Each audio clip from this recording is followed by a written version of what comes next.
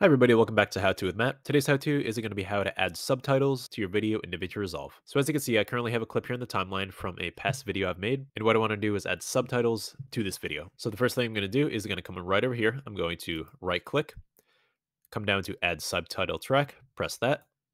That's going to automatically give you an option to add subtitles right here now. So I ha currently have the marker right here. I want to add a subtitle starting right there. So I'm going to right click, add subtitle pops up right there. These subtitles are by default three seconds long, but obviously you can increase or decrease the length to whatever length you want it to be. So once you add a subtitle, obviously you're going to want to change the text. So you're going to come right up here where it's automatically going to say subtitled by default. I'm going to change this to subtitle number one. Now when I play it through, going to pop up right here where it says subtitle number one, and that's your first subtitle.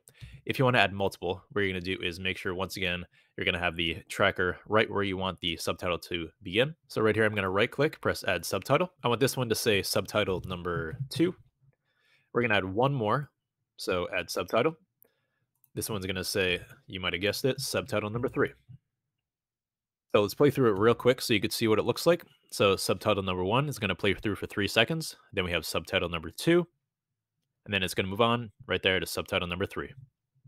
So the other important thing to know here is so that you can add actual style to the text. So up here in the inspector, you're going to make sure on video, come over here to style. So then from there, what you can do is obviously adjust many things. You could change the style and the position. You could center it. You can make it left. You could zoom. You could change the opacity if you wanted to. You could add a drop shadow or take away a drop shadow.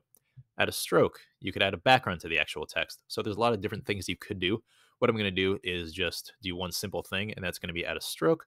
I'm going to make it kind of a lime green color, so it's pretty visible. And then from there, I'm going to change it to, let's say, three, so it's very visible.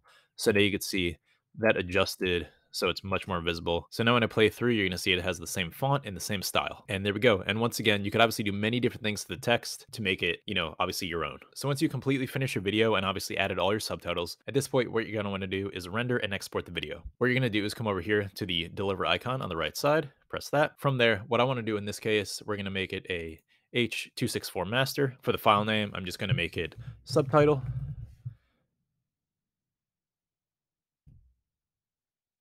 We're going to browse and find a place for it just to save. So come over here.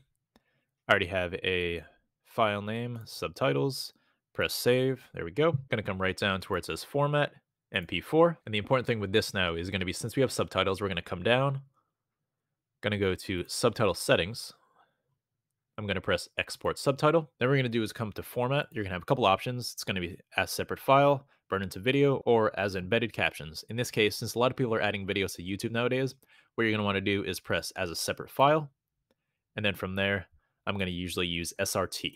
We're going to click on subtitle one and then add render to queue. Obviously, you're going to press render all once it's done. And at that point, you're finished. And just like that, that's how to add subtitles to a video in DaVinci Resolve, as well as rendering and exporting it. Thank you so much for watching this video. If you enjoyed it, make sure to subscribe, give it a like, comment below with any questions or comments. Also, make sure to check out my DaVinci Resolve tutorial playlist, which you'll see here on the screen to learn more. Thanks again for watching, and I'll see you in the next one.